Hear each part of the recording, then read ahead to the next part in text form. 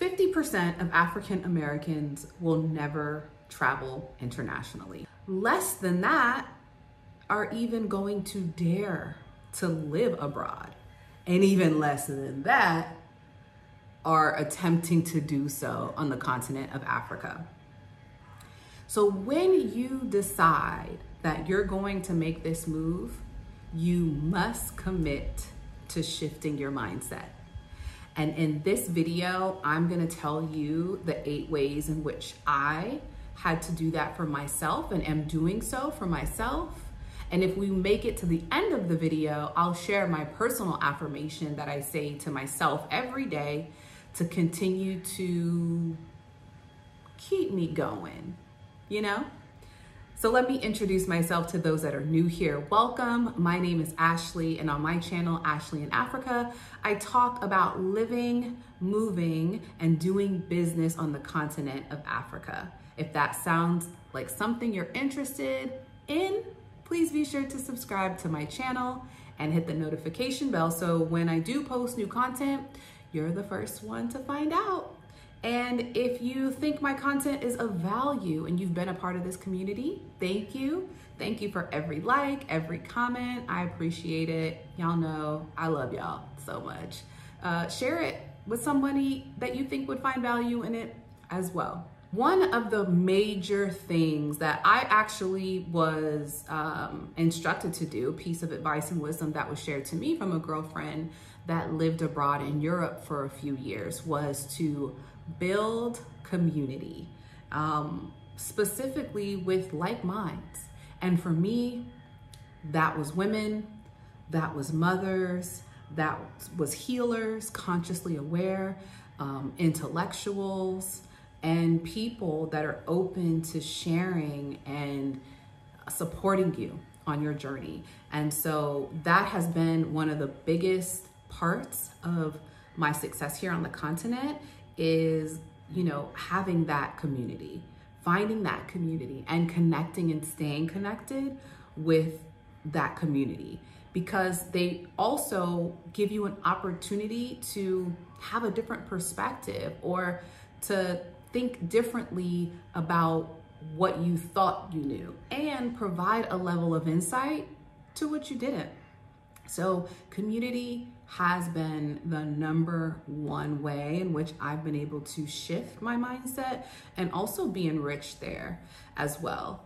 Um, the number two way has been listening to a trusted source, somebody outside of my perspective that has a basis of knowledge that I just don't have.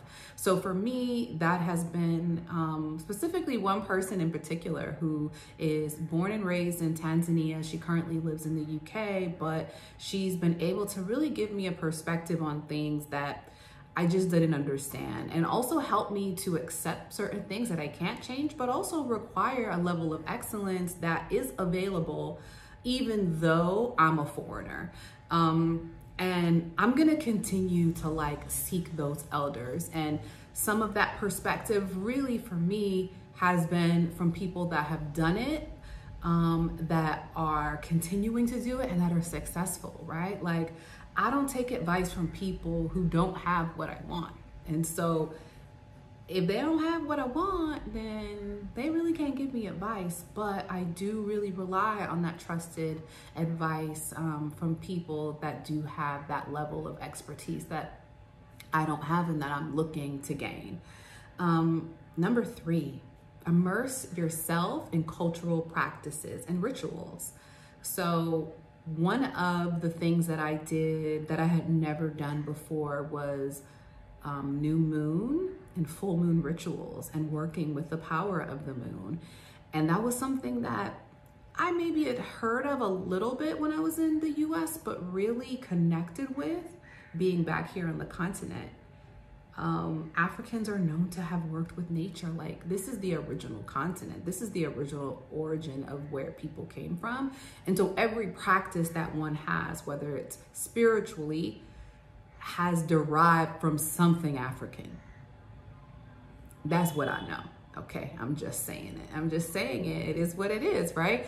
And um, not only that, also like connecting with African tribes and the rituals and practices that they have for women as they come of age is something that I had never experienced in America. In certain cultures, you know, you know, Latin cultures, they have the quinceañera, but you know, the black culture, like we didn't really have that in America. So I really made sure to connect with people that could give me that experience and it was life changing and I had to unlearn so many things but find a greater respect for what I didn't know and appreciate the place where I was in that knowing. I'm getting deep, y'all. I'm getting deep. I'm getting deep. So let's let's go on to the next reason. Number four, not as hard. Journaling, right? So if you're not quite ready to jump into another spiritual, cultural practice, that makes sense. At the very least, you can journal. It's one of the things that I've always done, and it's been even more profound as I'm here on the continent and I'm journaling my experience and the changes that I'm going through and the things that I'm learning and the things that I'm unlearning.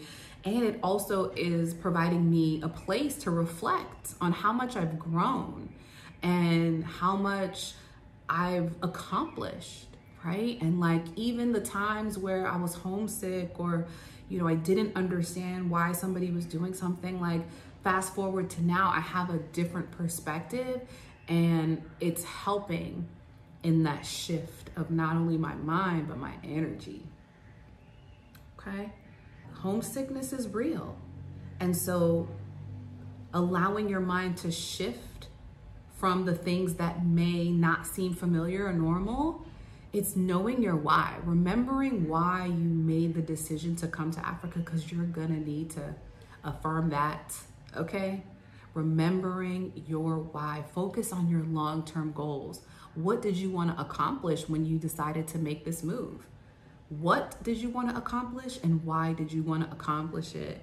And that will help to mitigate some of the chaos, confusion, and complaining that is just by default going to happen as you're entering into this new culture and this new way of life. Make personal development a priority.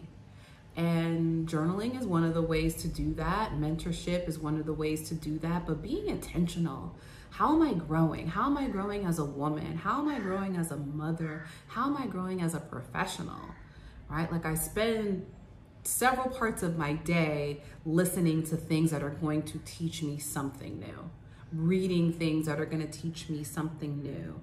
Um, that's an a big that's a big and important part of my day that I, I'm intentional about, right? Like it's super important to me, and so it has supported me in the way that I've needed to shift my perspective and my mindset. Um, you know, to be successful and to feel comfortable in this new this new life that I'm building for myself.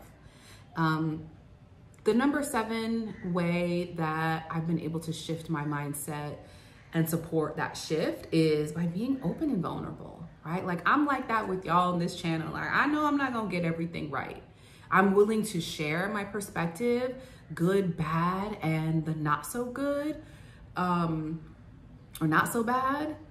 I'm willing to share that. And there's a level of vulnerability that I now have today that I didn't have, you know, when I was preparing this move. I I recorded a lot of videos when I was preparing to make this move that I didn't share until a year later. Like y'all was confused. Y'all were like, "Wait, this is not flowing right. You said you were going, but you're looking like you're there." And yeah, so I just didn't have that vulnerability and you know, thus it blocked me off from a lot of opportunities to learn and grow. And so being vulnerable, sharing with you all my perspective and the things that I'm learning is allowing me the feedback to reflect on that vulnerability and recognize like, oh, you might need to think about this differently. And I'm grateful for that. I'm grateful for that growth because I can see the way that it is expanding me in ways that, you know, I'm asking for. I'm asking for. So the final and last way that, you know, just I shut it down when it comes to shift your mindset, sis, is accepting that things are going to change whether or not you do the work, right? Like things are going to happen, things are going to be. And whether you do the work or not to flow in that direction, to shift your mindset so that you do invite an ease to your life, it's gonna be what it's gonna be. And you're better off doing the work now than suffering the consequences later.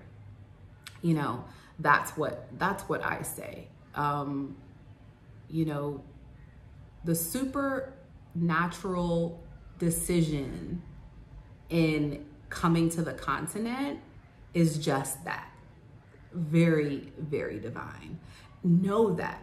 Know that it is divine. Know that the universe, Allah, the creator, the most high, I am that I am, is making it so. And so it is.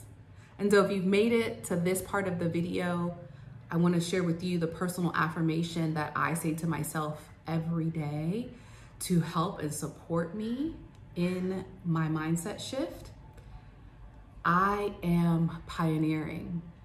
I am a leader. I am divinely created and all is working out in my favor. I'll repeat it again. I am pioneering. I am a leader. I am divinely created and all is working out in my favor. If you enjoyed this video, please be sure to like it, share it with someone else who would find value in it, and please be sure to subscribe to my channel to get updates on when I will post new content. And if you are interested in making the move to the continent of Africa, expanding your business to the continent of Africa, I would love to work with you. The link below is in the description. The link is in the description to book a call with me. And I'd love to support you on your journey. Until the next video, we'll talk soon.